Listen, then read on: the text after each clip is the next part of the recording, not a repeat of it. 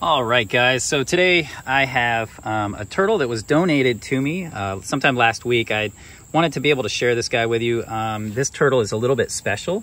So this is an alligator snapping turtle juvenile that a guy donated to me that was moving and wasn't able to take him with him when he moved to uh, another state where he was going to go to college. And as you can see, he is a I wouldn't necessarily call him happy, but he is a healthy little juvenile. Uh, he does have these interesting infections going on with his eyes, so that's something that I'm going to be treating.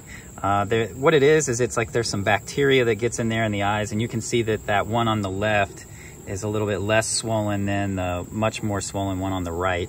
And uh, so what we're gonna do is I'm gonna try and cure that naturally. I mean, it's not gonna heal overnight. It is gonna take a little bit of time, but this is a captive bred alligator snapping turtle that he originally got from John Richards. Um, as you've seen in a previous video, I went up to John's place and uh, was able to see where he hatches these guys and um, you know, hatches out healthy little active alligator snapping turtles. So what we're gonna do today is actually put this guy in this setup and you know, the water in here has plenty of plants and leaves and this is what I had started um, my little Florida snapping turtles on. And so he can kind of get underneath all these plants and has like a nice little world under there. And the leaves and the plants keep it at a lower pH. And that lower pH is gonna really help inhibit bacterial growth. Um, so it's gonna help with his eyes and it's gonna help with, you know, any other infections, um, kind of preventing them as a whole and it'll, you know, this guy will just feel so much more comfortable down there. There's also substrate. Um, you can kind of let him crawl in there. He's gonna get to kind of get in there and bury into it. These guys really love the feeling of getting underneath stuff and being underneath plants. So I think he's gonna um, do nicely. Now this isn't gonna be a permanent home eventually. Uh, once his eyes straighten out and once he's been through like a quarantine period, I might even introduce him to the aquascape pond. Especially that wetland filtration area, I think is gonna be just really good for him. Um, and he'll be able to get down in that. But uh, if you look at the bottom of this thing, if I reach down here, hopefully he doesn't bite me. Um, this has like a substrate to it, so there's some gravel mixed with some sand, so he can get kind of down in that and he'll do fine in here. Again, this is only gonna be for a few weeks, but this is a nice little natural area. This simulates, you know, kind of the habitat that you find uh, juvenile alligator snapping turtles in.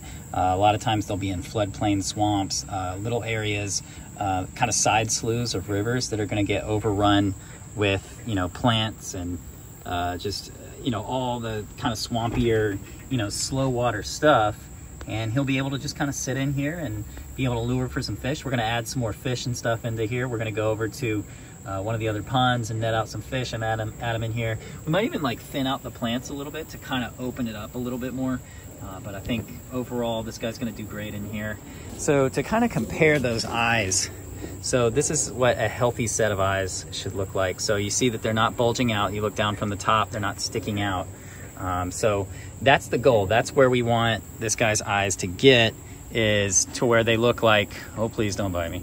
We want his eyes to get very similar to what this guy has.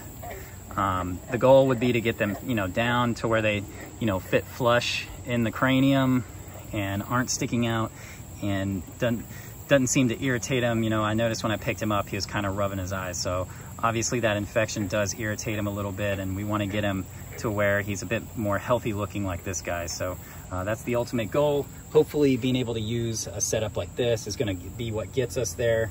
Um, so I just wanted to introduce you guys to that to that turtle, show you that uh, I did add that guy to my permit. So he'll be able to come with me for education and um, fantastic animal. It's gonna be fun treating him and seeing him, you know, kind of progress over time. So uh, thank you guys for watching this video and I'll catch y'all later.